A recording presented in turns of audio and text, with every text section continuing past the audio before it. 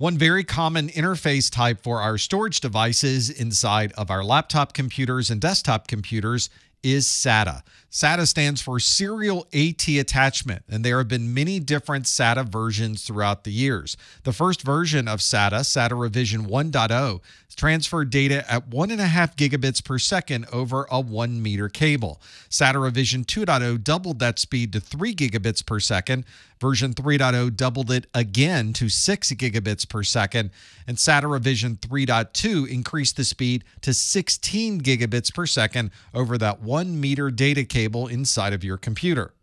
SATA is used exclusively inside of our computers. If you have an external storage device, you're probably connecting with eSATA or external SATA. This matches the speeds that are used on those revisions of internal SATA versions, but it allows for a maximum cable length of 2 meters.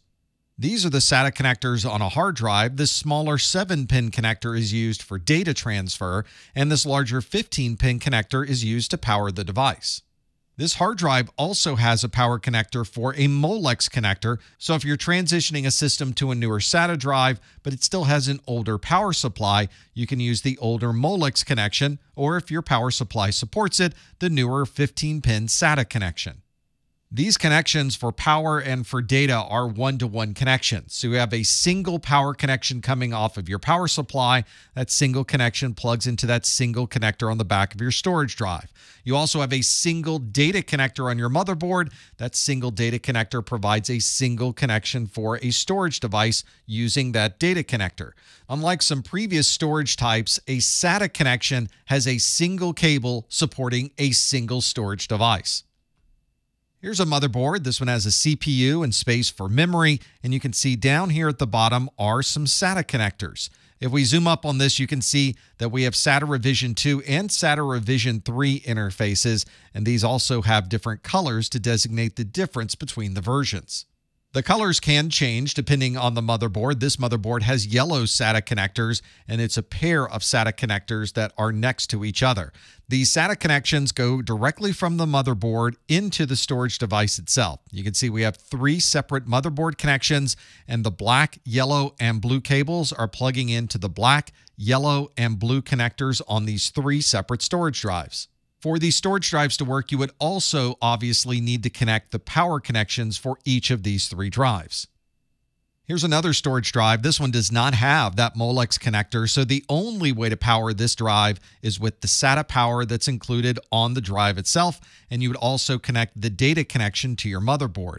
You usually have that cable coming directly from the motherboard, plugging into the drive, and now you're able to access all of the data on the drive once you add both the data and the power connection to this storage device.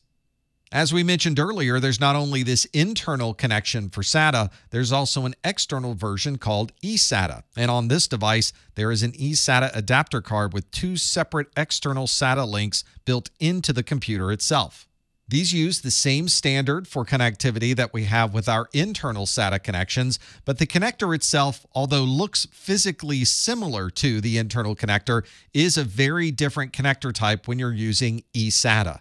If we look at a SATA interface on your motherboard, it has this L shape associated with it. If we look at an external eSATA connector, it's slightly larger and does have a very different layout. This means that if you're connecting an eSATA drive, you'll need an eSATA cable, and if you're plugging into an internal SATA drive, you will need a SATA cable.